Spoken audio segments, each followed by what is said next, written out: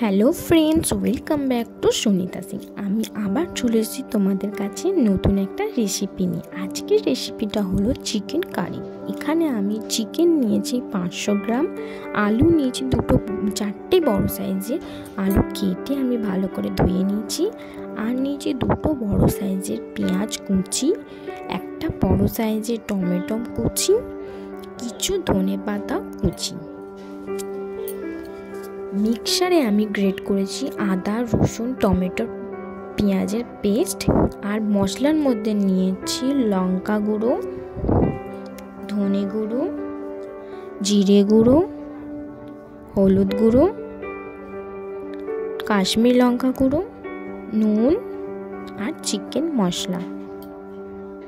গোটা মশলা হচ্ছে গোটা জিরে, দারচিনি, লবঙ্গ ছোট এলাচ তিনটে আর একটা তেজপাতা।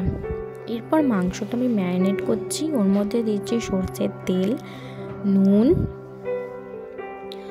হলুদ গুঁড়ো, লঙ্কা গুঁড়ো, জিরে গুঁড়ো দিয়ে ভালো করে মাখিয়ে নেব। মাখিয়ে আমি ম্যারিনেটের জন্য রাখব কুড়ি থেকে পঁচিশ মিনিট ফ্রিজেতে। এরপর কড়াটা আমি বসিয়ে দিচ্ছি। ওর মধ্যে আমি দিয়ে দিচ্ছি সর্ষের তেল। সর্ষের তেলটা গরম হয়ে গেছে, ওর মধ্যে আমি আলুগুলো দিয়ে দিলাম।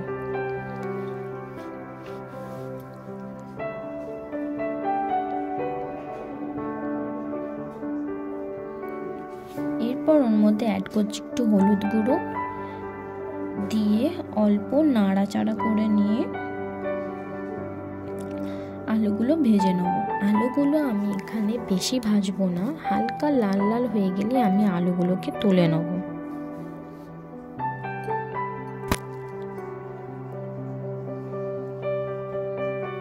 মোটামুটি আমার আলুগুলো ভাজা হয়ে গেছে, দেখতেই পাচ্ছ লাল লাল হয়ে গেছে। তো আমি এবার আলুগুলোকে তুলে নিচ্ছি। তোলা হয়ে গেছে আমার। আবার ওই কড়াতেই অল্প তেল দিয়ে দিলাম। আমি রান্নাটা সর্ষের তেলে করেছি, পারলে তোমরা সাদা তেলও করতে পারো। গোটা মশলাগুলো এক এক করে আমি সব দিয়ে দিচ্ছি। এলাচটা আমি এখানে ফাটিয়ে দিয়েছি। অল্প নাড়াচাড়া করে নিলাম। এরপর আমি পেঁয়াজ কুচিগুলো দিয়ে দেবো।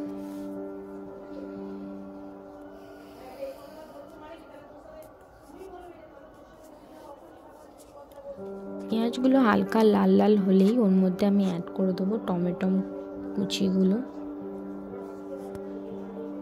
হালকা লাল লাল হয়ে গেছে, টমেটোগুলো আমি দিয়ে দিচ্ছি। টমেটোগুলো একটু নাড়াচাড়া করে অল্প গলিয়ে গলিয়ে নিচ্ছি।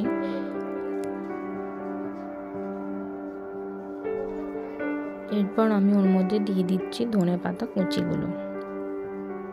তারপর আমি গ্রাইন্ডারে পেস্ট করে রাখা টমেটো, পেঁয়াজ, আদা, রসুনের পেস্টটাও দিয়ে দিলাম। দিয়ে ভালো করে কষিয়ে নিচ্ছি মশলাটা। কষানো আমার হয়ে গেছে, দেখতেই পাচ্ছ। এরপর আমি ম্যারিনেট করে রাখা চিকেনটা দিয়ে দেবো।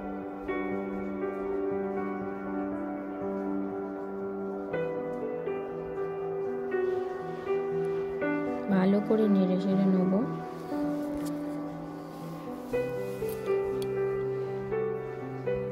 তারপর আমি দিয়ে দেবো স্বাদ মতো নুন।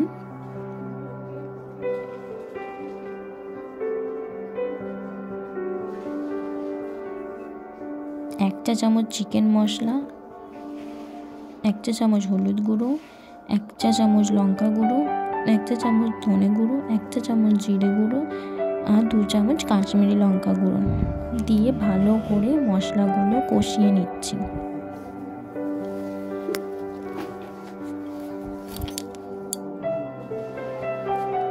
মশলাগুলো আমি ভালো করে কষিয়ে নিচ্ছি, দেখতেই পাচ্ছ?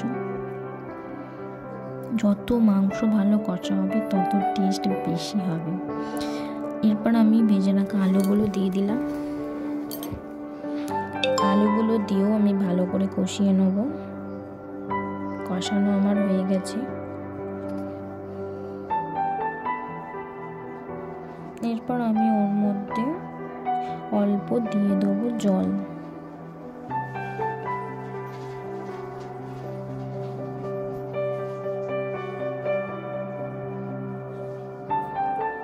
যাতে আলু আর চিকেনটা ভালো করে সিদ্ধ হয়ে যায়। এবার আমি চাপা দিয়ে দিচ্ছি পনেরো থেকে কুড়ি মিনিটের জন্য। পনেরো থেকে কুড়ি মিনিট হয়ে গেছে, দেখতেই পাচ্ছ আলু আর চিকেনগুলো খুব ভালো সিদ্ধ সিদ্ধ হয়ে গেছে। এরপর আমি ওর মধ্যে দিয়ে দেবো অল্প জল। তোমরা যেরকম গ্রেভি রাখতে চাও, সেরকম জল অ্যাড করতে পারো। যদি কষা রাখতে চাও, তাহলে এরকমই মানে রাখতে পারো, জল অ্যাড করবে না। আর যদি গ্রেভি করতে চাও, তাহলে জল একটু দিতে পারো। এরপর আমি ওর মধ্যে দিয়ে দিচ্ছি সানরাইজ গরম মশলা। গরম মশলা দিয়ে অল্প চাপা দিয়ে দিলেই রেডি হয়ে যাচ্ছে আলু চিকেন কারি আজকের যদি রেসিপিটা তোমাদের ভালো লেগে থাকে, তাহলে ভিডিওটা লাইক কমেন্ট শেয়ার করবেন অ্যান্ড চ্যানেলটা সাবস্ক্রাইব করে দেবেন। ধন্যবাদ।